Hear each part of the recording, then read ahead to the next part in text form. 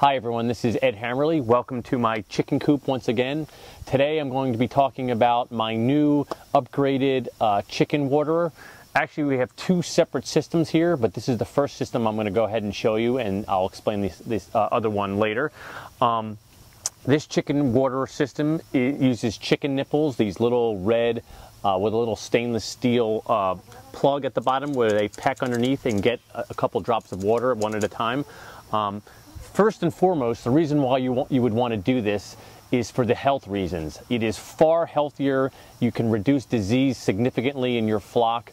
Um, everyone who's in the business of chickens, whether it be large commercial scale or even your regular um, uh, home, uh, home uh, flock, are switching over to this. It saves water. Again, it's healthier. Um, and for me, the other big feature was that it's, it's also saves me a lot of time. Uh, we were coming out to the coop every single day to clean the water uh, container. They poop on it, they kick food, food in it, they kick debris in it. With this system, on the outside one, I have, I have two systems you're going to see. One is the non-freezing system, uh, no ice system, and the other one is the winter ice condition system. So this system here is going to be connected to a garden hose 24 hours a day, seven days a week, does not have to be touched. You never have to worry about feeding them water or cleaning out the container. It'll go, it'll uh, pressurize this uh, PVC pipe to about one or two PSI and it will supply these uh, chicken nipples, nipples here that uh, the chickens can come up to at any time.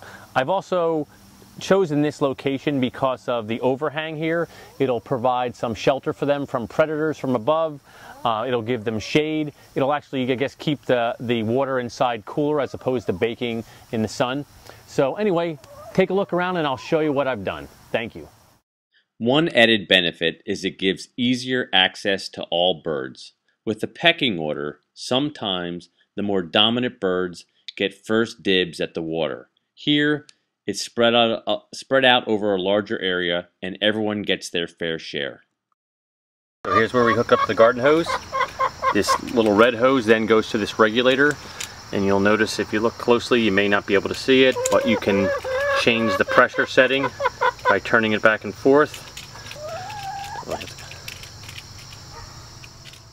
For the record, anyone looking to purchase this water pressure reducing valve, also referred to as a 4090 water regulator, can find it on the internet. You can Google it I've seen it on Amazon as well. I've also seen other chicken coop owners use a spackling bucket with a toilet bowl float.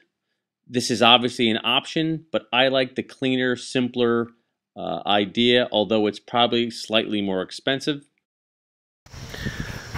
Okay, so here's the inside of the coop. We have this hose. It, it we have a little hose barb and a fitting here that we switched from this small little hose to into the PVC.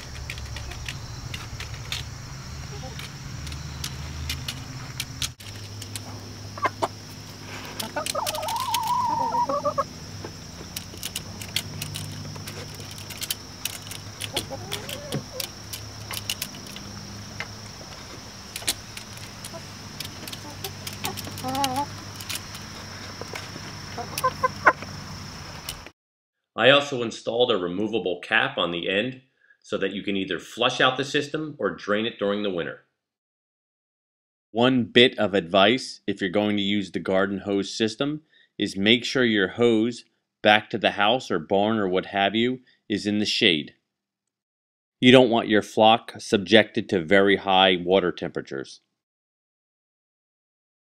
Okay, so this is the system I'm going to be using for eight months out of the year or as long as I can get away with before freezing temperatures come about. And this is system number two, the winter months. So with freezing conditions, we obviously won't have the luxury of having a garden hose attached to this system, which is why I have two and not just the one on the outside. I've decided to put the wintertime waterer on the inside for several reasons.